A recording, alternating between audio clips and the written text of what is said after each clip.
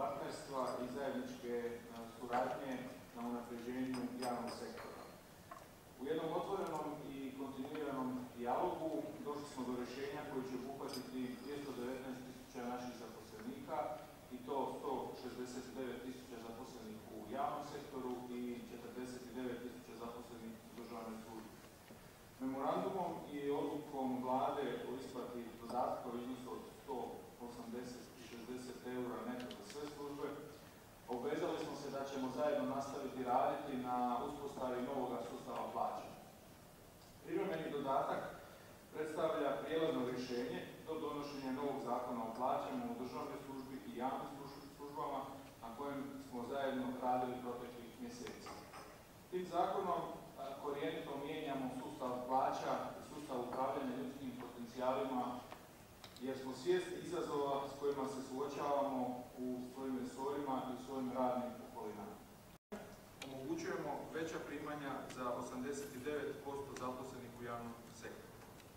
Memorandumom i, memorandum i odluka koje ćemo danas donijeti neće stvoriti nove neravnoteže, niti će utjecati na proces donošenja novog sustava plaća. Pred, nama je značajan posao u izradi novih uredbi o nazivima radnih mjesta i koeficijenata složenosti poslova u državnoj službi i javnim službama. Na temelju objektivnih analiza i metodologija 2500 radnih mjesta potrebno je grupirati i sažeti, posložiti u 16 platnih razreda. 560 različitih dodataka koji su s godinama generirani u sustavu ćemo svesti na minimalan broj kako bi održavali drugačije uvjete rada, a ne samo strukturu složenosti poslova. Nelogičnosti i nesrazmjere koje, nažalost, imamo u sustavu ćemo uravnotežiti i posložiti sustav kako bi bio on učinkovit, kvalitetan i otporan. Policije Hrvatske. Eto, gospodin ministar Malenica je uglavnom rekao sve što treba reći, mi smo zadovoljni sa tim povećanjem, znači za 100 eura, za 80 eura, za 60 eura. E, evo, uspjeli smo se, ako možemo tako reći, zajedničkim snagama izboriti za 200 eura za regres, dakle ne samo za naše članove, članove reprezentativnih sindikata, nego i za sve članice i članove ostalih sindikata.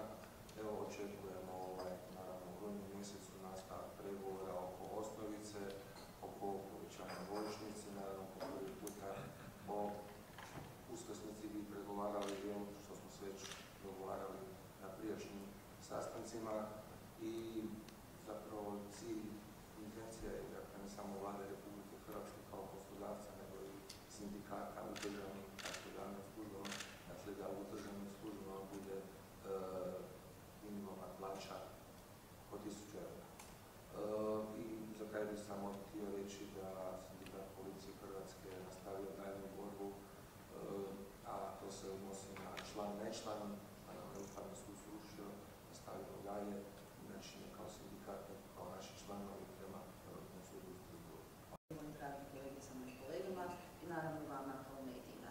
Evo uvodno već je sve načelno rečeno, no danas ono što je važno napomenuti da ovaj međusoban dogovor koji će biti u stvari osnova za donošenje uredbe Vlade Republike Hrvatske o povećanju za 219.000 zaposlenih unutar javnog i državnog sektora pravni je temelj definitivno za sustavno povećanje plaće, iako je naglašeno da ovo je privremena odluka vlade temeljem našeg sporazuma.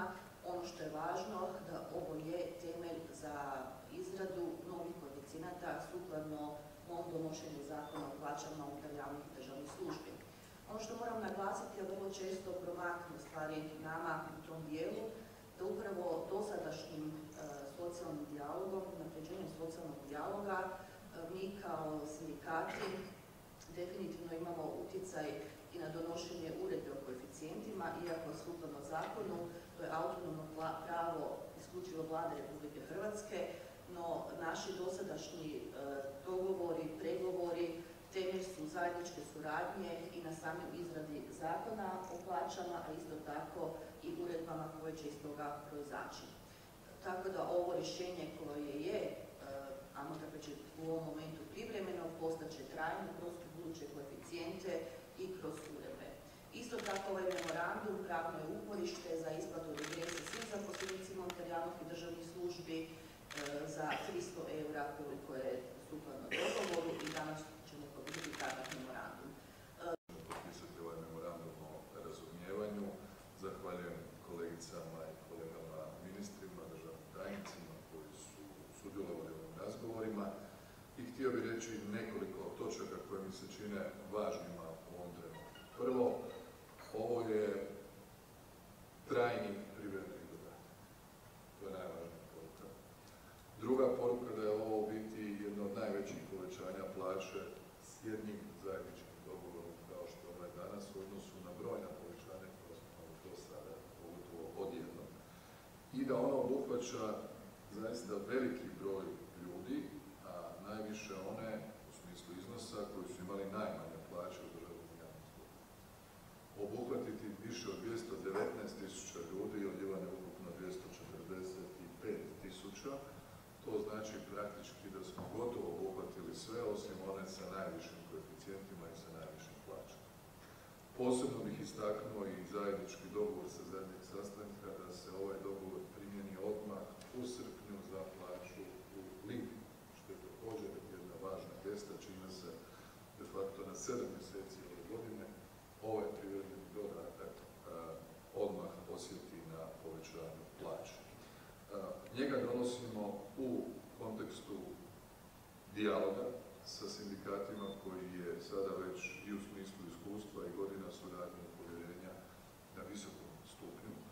Drugo, donosimo ga u kontekstu ekonomskih i socijalnih okolnosti u kojima država ne samo javnom i državnom sektoru, nego mjerama koje poduzimamo za sve radnike u Hrvatskoj i uopće za sve kojima je u ovim kriznim godinama, to su i COVID i posljedice ruske agresije na Ukrajinu i energetska kriza i prehrambena kriza i inflatorni pritisci. E, Zadaća vlade je bila da pomognemo maksimalno koliko možemo da se održi socijalna kohezija, da se načelo solidarnosti što više prožme kroz sve naše politike. I to je danas jedan, e, jedna prava manifestacija te političke volje i takvog razumijevanja trenutka i okolnosti u kojima se nalazimo. Ono što je posebno bitno, mi smo kroz naš dijalog tražili jednom, kako je rekao ministar, sveobuhvatnom univerzalnom pristupu. Mi smo de facto s ovim e, konzumirali sve pregovore koji su se vodili na granskoj razini. Dakle, ovo je substitut i onoga što je bilo kroz granske pregovore kako bismo učinili više i učinili to brže i učinili to sveobuhvatnije. predsjednik nezavisnog sindikata zaposlenih u Hrvatskom zdravstvenom osiguranju, gospođa Jadranka Dinić, predsjednica sindikata zaposlenika u djelatnosti socijalne skrbi Hrvatske, gospođa Nada Lovrić, predsjednica nezavisnog sindikata zaposlenih u srednjim školama Hrvatske, gospođa Renata Čurinović-Čajić, ispred namještenika, memorandum potpisuju predsjednik sindikata policije Hrvatske, gospodin Dubravko Jadić i predsjednik nezavisnog sindikata djelatnika Ministarstva unutarnjih poslova, gospodin Zdravko